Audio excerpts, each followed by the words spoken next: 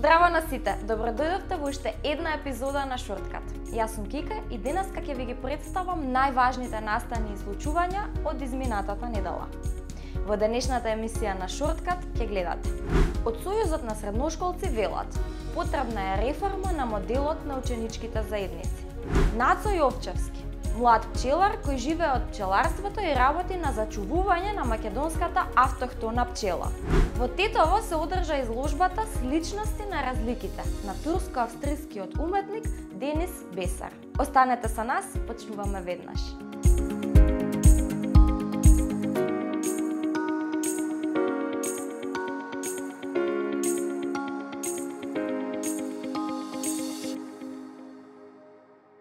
Потребен е нов модел на ученичко организирање кој ќе може да се имплементира подеднакво во сите училишта низ земјава.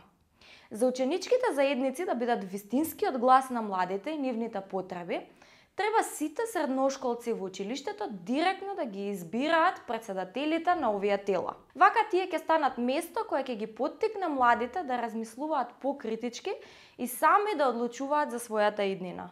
Ова е заклучокот од панел дискусијата какви новини се потребни во средношколското организирање, во организација на Сојузот на средношколци и Институтот за добро управување и евроатлански перспективи.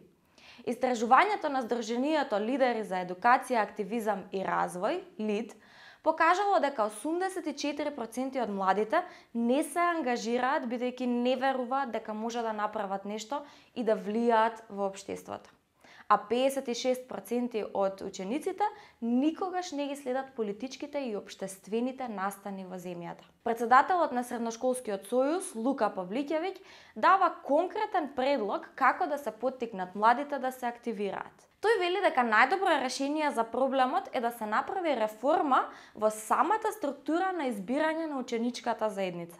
Според него, учениците и понатаму да ги избираат председателите на своите класови, но председателот на ученичката заедница, што треба да ги представува сите ученици во едно училиште, да се избира од сите ученици, а не како што е моментално да се избира само од председателите на класовите. Имаме добри вести за матка, едно од најубавите природни редкости во земјата.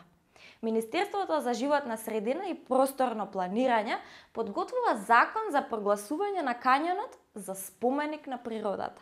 Прогласувањето е со цел да се заштитат неговите природни вредности, кои се од особено значење за зачувување на природата. Матка е дом на многу ретки и ендемски видови растенија и животни. Таму живее египетскиот мршајадец и белоглавиот мршајадец кои се наоѓаат на црвените листи на загрозани видови.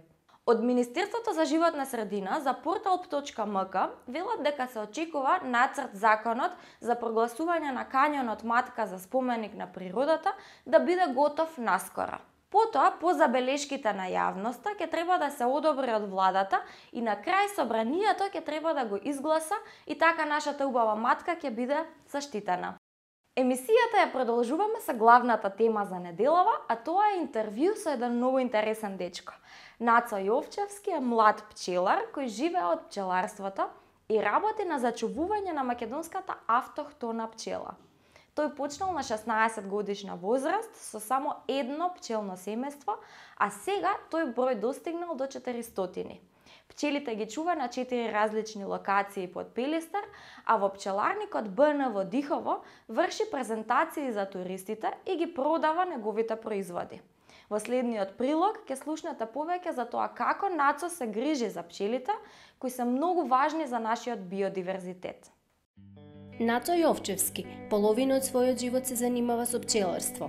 Почнал на 16 годишна возраст кога имал едно пчелно семејство, а сега тој број достигнал до 400. Пчелите ги чува на 4 различни локации под Пелистер, а во пчеларникот БН во Дихово врши презентации за туристите и ги продава неговите производи.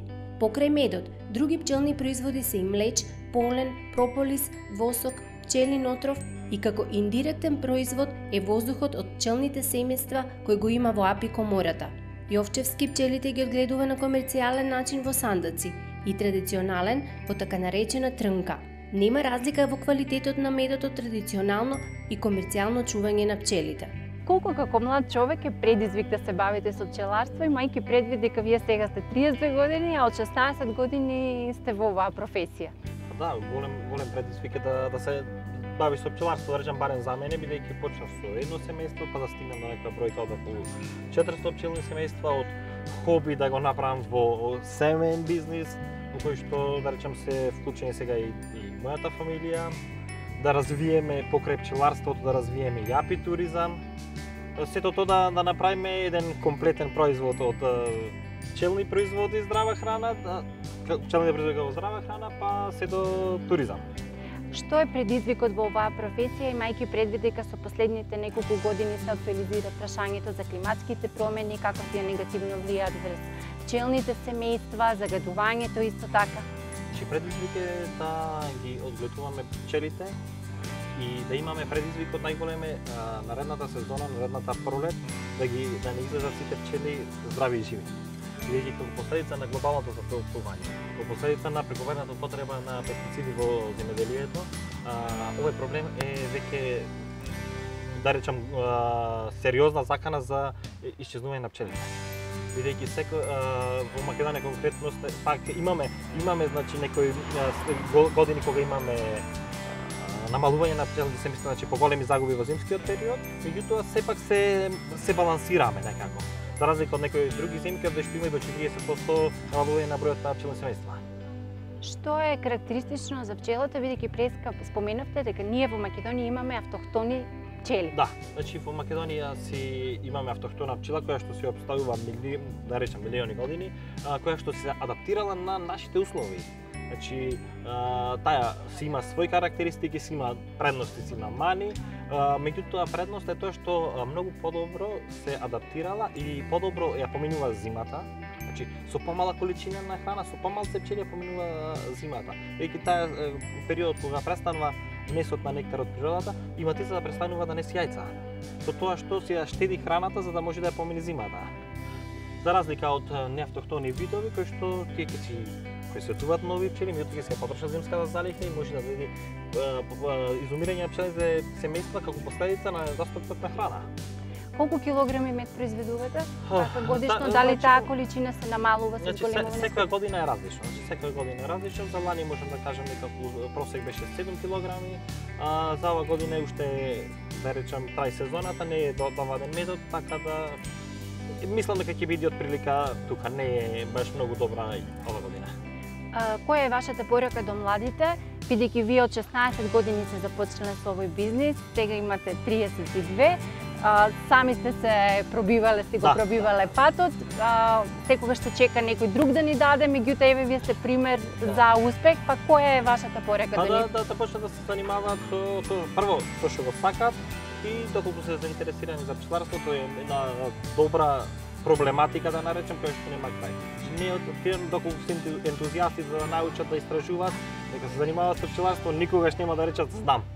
Интересно за пчелите, како што вели тој, е дека тие го очувствуваат стресот на луѓето, нервозата, негативната енергија и тогаш касаат.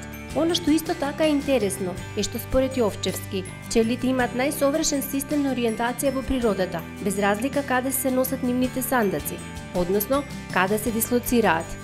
Јовчевски е добитник на многу сертификати и награди и е дел од многу проекти кои работат на одржување на пчеларството како професија, од која тој живее. Колку се слични различностите? Одговорот ќе го најдете на изложбата наречена Сличности на разликите, која се одржа во петокот во Тетово. Автор е турско-австрискиот уметник Денис Бесер, кој престојуваше еден месец во градот Почара. Уметникот со своите дела ја отсликува реалноста и настаните со кои се сретнал во Тетово и Северна Македонија, меѓу кои беше и трагедијата со пожарот во модуларната болница. Бесар за портал.мк рече дека називот на оваа изложба е сличности на разликите, бидејќи смета дека мора да ги прифатиме сите видови разлики на овој свет. I was always re receiving some visitors and guests. I always had some talk and chat with them and this, this kind of method, communication method is given so much information and inspiration to me. And that's why I really find quite important to interact with local people as a uh, person who came from abroad. It was quite nice actually. А сега Шорткат ви прикажува неколку платформски видеоигри кои би можело да го задржат вашето внимание.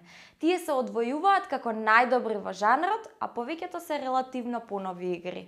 Ори слепата шума или Ori and the Blind Forest е игра која е естетски најдобро сработена со специфичен уметнички стил што многу подсетува на аниме цртаните филмови на студио Гибли. Белегот на нинџата или Mark of the Ninja е една од најдобрите платформски игри на тема нинџи во последно време. Вреди да се споменат шиноби игрите како постулат за игри со нинџи, иако се од многу поранешна ера на платформски игри. Следна на листата е играта Тројство или Trine. Во оваа игра играте три лика одеднаш што ги менувате на копчињата 1, 2, 3. Застапените ликови се девојка крадец, витез и волшебник. На самиот почеток од играта, тројцата допираат предмет што е извор на моќ. За крај на денешната епизода на Шорткат ве информираме дека Наруто повторно е тренди. Јапонската серија од Масаша Кишимото, која ја раскажува приказната за Наруто Узумаки, е анимираната серија која се врати на виралниот филмски пазар. Оваа серија, гледана од помали и од постари, стана тренд на TikTok. Луѓето се снимаат себе си како дури плачат од носталгија со сцените од Наруто, тренд што потоа отвара дискусија во коментарите. Доаѓаат студени денови, затоа земете чај и под јорган гледајте го Наруто. Тоа е се што подготвивме за денеска. Ве повикуваме слободно да ни пишете на нашиот Инстаграм профил ако имате коментар или предлог за следната епизода. До тогаш информирајте се преку рубриката за млади ЦТРЛЗ на вебсајтот на meta.mk. Се гледаме следната недела во истото време, четврток, 19 часот. Чао, чао!